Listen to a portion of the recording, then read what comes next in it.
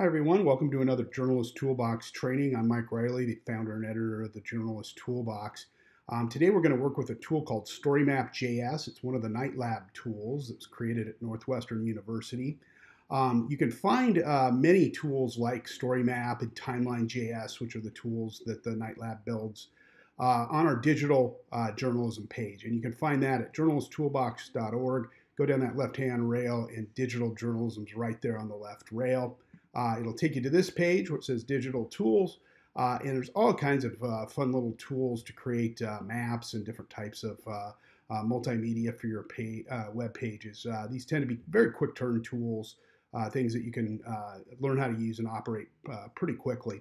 Um, the, as I mentioned, the tool we're going to work with today is StoryMap.js, storymap.knightlab.com. That's Knightlab with a K. Uh, and this tool has been around uh, for quite a while now. It's been uh, just a little under a decade. Uh, and StoryMap.js allows you to take multimedia and map it onto uh, a really nice uh, slideshow type format. and it plays right through. you can embed photos and graphics and video and audio and all kinds of multimedia there. Um, and they have some examples embedded right into uh, Timeline.js or uh, StoryMap.js, excuse me. Uh, and you can see it's playing through here. And it looks kind of like a little timeline here. They're going through some dates and things like that. But notice on the left-hand side, it's skipping around, going to different spots on the map. Uh, so you can kind of combine it as a timeline slash story map.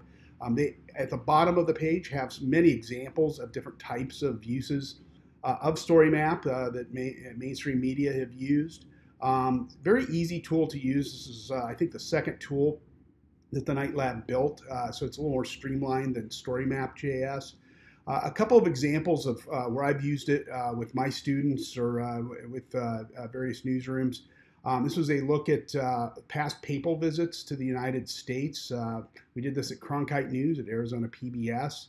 and when we started on this story, uh, we were originally going to do it as a timeline, but uh, as the student reporters started researching the project, they realized that the Pope had uh, appeared in many different places around the U.S., including Alaska, uh, as well as Phoenix. Uh, so uh, they went in here, and this is his trip to Phoenix in the Pope Mobile here, going down the street, going down the, one of the main streets in Mesa, probably, or Tempe. and they could embed they embedded video in here of his trip to Colorado and uh, all the different places. So you can really do a, a nice job of mapping uh, all these different locations with a little bit of information about them. Uh, and uh, the, here they worked in the dates into the headline and then the multimedia at the top. So it's good for very visual mapping stories. Google My Maps might work a little better uh, if it's something where you're just mapping data uh, only. Um, this is another project that we did on speakeasies in Chicago. there are a lot of old prohibition bars uh, that are still alive and well in uh, the city of Chicago, including the Green Mill Tavern. Uh, uh, you can choose different types of map backgrounds, which I'll show you in a little bit, and different icons you can work with. Uh, students uploaded you know, a little mug of beer for this one. Um, and they went through and mapped, uh, notice the addresses and the headlines here, all the old prohibition bars that are still around today uh, in Chicago. So uh, kind of a cool little project, very easy to build in story maps. You can turn these projects relatively quickly. Um, to make one, it's very easy. Uh, you're basically just filling out a little form online. Uh, hit make a story map. It will ask you for login information to sign in with your Google account. And once you've created a few, they'll be logged right in here. It'll list all the different types of maps that you've created. Uh, or you'll just hit new and you'll name it.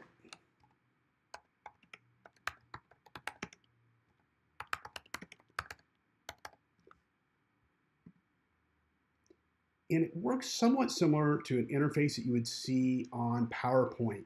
Uh, it has an opening cover slide, uh, and then you will have uh, little slides that you can add over here on the left-hand rail, uh, just like PowerPoint would. Uh, and you'll see a little box that appears in here that you'll need to type in the location so it knows where to go on the map. Uh, it'll recognize, just like you know any mapping software, the name of a street, longitude, latitude, city name, building name, you name it.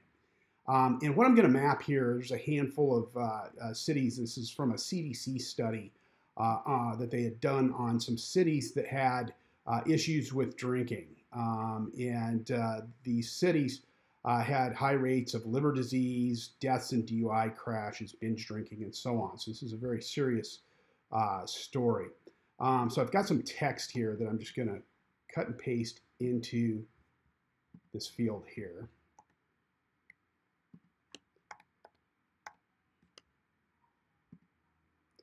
And I put in this little headline in here. You can add HTML in here. It has a, a little toggle. You can toggle back and forth between the HTML. Um, you can also uh, boldface certain words. If I wanted to boldface Men's Health Magazine, which uh, published this study. Um, I can also link off to the source uh, of this study. So I'll grab the link, which is right here. It's from the CDC.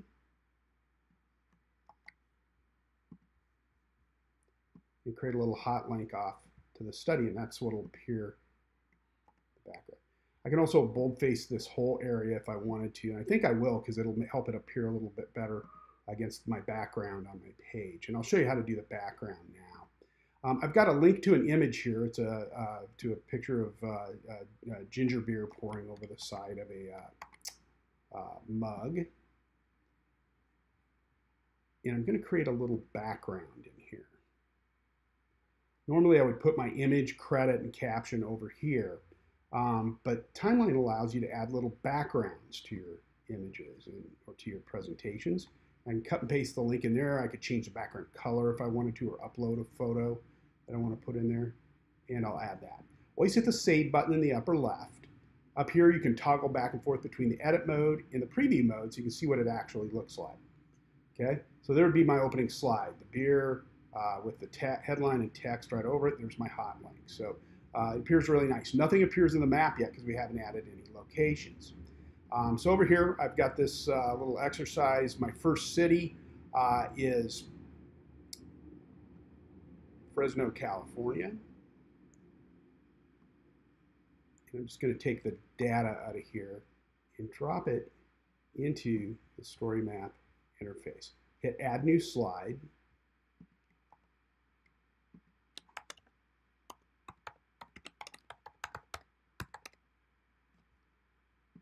And in the location area, I want to type in Fresno, California.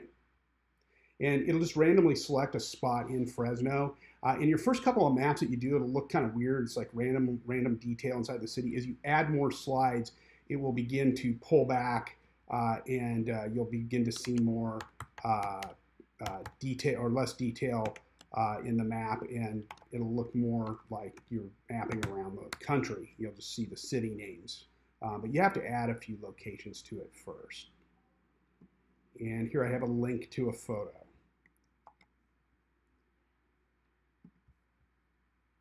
Add that right here. I also can upload an image right here and I'll hit save. It does give me some options up here, this little options button in the upper left uh, where I can change the backgrounds. Uh, their default setting, the, the Stamen Maps uh, uh toner light's really good. Uh, but if I want to do watercolor, you know, maybe if it was in the Southwest and I wanted to give it, uh, you know, more of a, a deserty feel, I could do that. But they give you a lot of different map backgrounds, you can upload different map backgrounds in here. There's different languages that you can do this in. Um, different, you can adjust your fonts. Um, I happen to like really like their default font. Um, you can treat it as cartography, or if you want to upload an image as a background, you have to select the image there. Um, call to action means start exploring button right at the, the top, um, which I always leave there. Uh, this is uh, uh, mobile friendly, so you can do swipes on this as opposed to uh, uh, just uh, clicking on the arrow to play through it like I did earlier. I'm going to add a second slide now, and this one's going to be Reno, Nevada.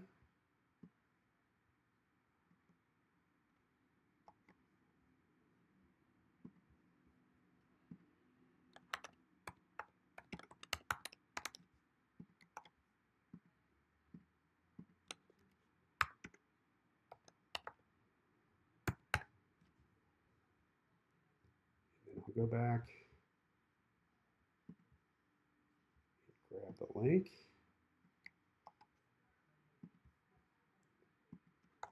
spelling that name.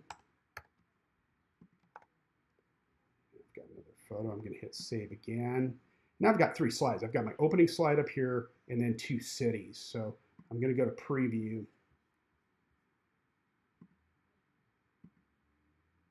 and begins to back back out. And the background uh, uh, will start to fill in again uh, as you uh, do more and add more uh, to the map. Um, it, right now, it just appears with the, the, the little specks right there, but it, will actually fill out with the full map once you begin building it out a little bit more. Um, now that I've got it saved, I'm going to go ahead and hit publish on it. To do that, you hit share. Um, I always want to put in a little description in here. Uh, so I'm going to go in and grab this opening slide of information. Will also ask for featured image, which is really important uh, when you're uh, doing your uh, um, tweets. You want to have a featured image with it.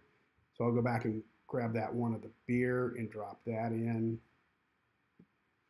here.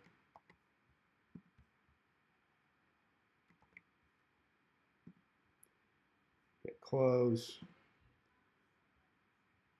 And now I've got a hot link to it. I've got embed code down at the bottom, which is iframe embed code. It is responsive, so it'll work on your phone. You can swipe with it. Or you can just, you know, if you're on a desktop, obviously you're not swiping. Tablet, you can swipe on it, of course.